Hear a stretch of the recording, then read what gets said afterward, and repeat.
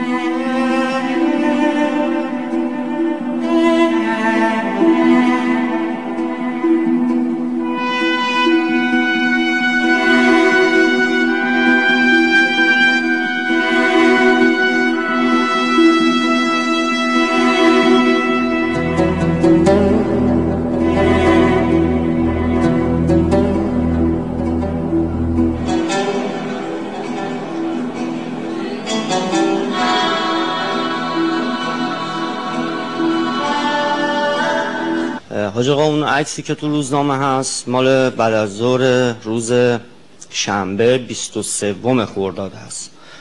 و اون چیزی هم که آقای دادستان فرمودن موتور سیکلت بوده. نخیر موتور نبود. یک سطل آشغال بود که داشت میسوخت. و منم اونجا بله قبول دارم. دو تا سنگ به طرف نیروی انتظامی پرت کردم که البته فاصله خیلی زیاد بود و نرسید بهش. ما تماممون که اینجا هستیم گول برخی از سیاست بازی های آقایون رو خوردیم که با جی افسازی به ما می‌گفتن از قبل از انتخابات که این قضیه تقلب صد درصد هست. در مورد کیفرخواستی که علیه متهم قرائت شد متهم فاقد پیشینه کیفری هسته و سابقه دار نیست.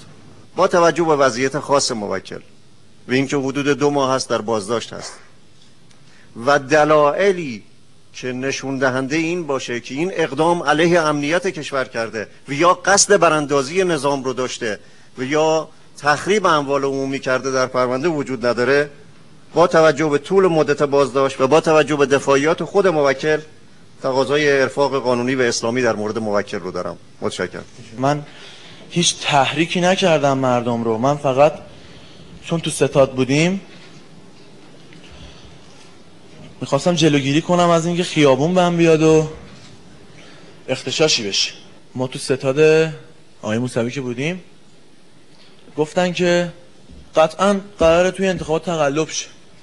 گفتم که چجوری می‌خواد تقلب شه؟ گفتن یا رعیا رو جابجا می‌کنن یا کم و کسری ازش در میارن. گفتم که خب حالا چی اما می‌خواید؟ من اونجا بودم به اساس حالا نیاز مالی هر چی که میشه اسمشو گذاشت که گفتم که می‌خواید چیکار کنید به ما چی می‌خواید بگید گفتش که اگه اجباری نیست هر کی می‌تونه یه کاری کنه می‌تونه بره مردم رو جمع کنه شعار بده می‌تونه تخریب کنه می‌تونه هر کی یه کاری بکنه هر کی با یه چیزی هر کی با یه کاری. من از مقام محترم خواستارم که یک لطفی کنن یه چند روزی رو فرصت به من بدن. جهت دفاعیت تکمیلی. چون فرصت نداشتم. متاسفانه همینطور که می‌دونید زمانی که تجمعی صورت می‌گیره افراد به خصوص با توجه سن موکل از حس کنجکاوی شاید بعضا جمع بشن و صرف نظر از اینکه این اجتماعات قانونی هست یا نیست اون قابل بحث موکل از فقط به خاطر حس کنجکاوی که داشته بعضا شاید در این تجمعات شرکت داشته. جهت رعایت اه، حق متهم به مدت یک هفته به شما مهلت داده میشه که تدارک آخرین دفاع ببینید. بفرمایید. از متهم خواسته می‌شود که خودشو معرفی کنه. به نام خدا یقوتیل شاولیان هستم فرزند یوسف.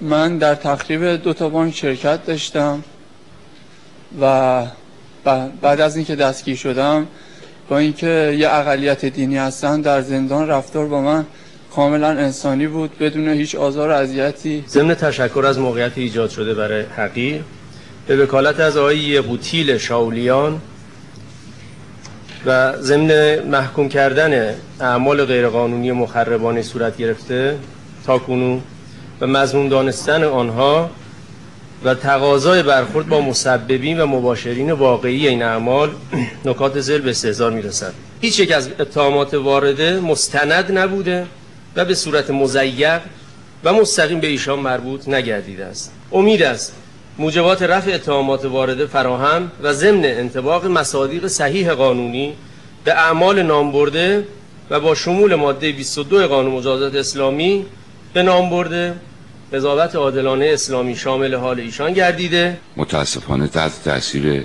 تبلیغات فعالان سیاسی و احزاب و جریان های سیاسی داخلی و, و روزنامه قرار گرفتم. و متاسفانه در تجمع روز شنبه سی خرداد شرکت کردم در صورتی که اطلاع از غیرقانونی بودنش نداشتم. یکی از عزیزان رو که نمی‌دونستم بسیج و یا نظامی و یا شخصیه مورد ضرب قرار دادم. در حالی که جوگیر رو دچار جنون آنی شده بودم.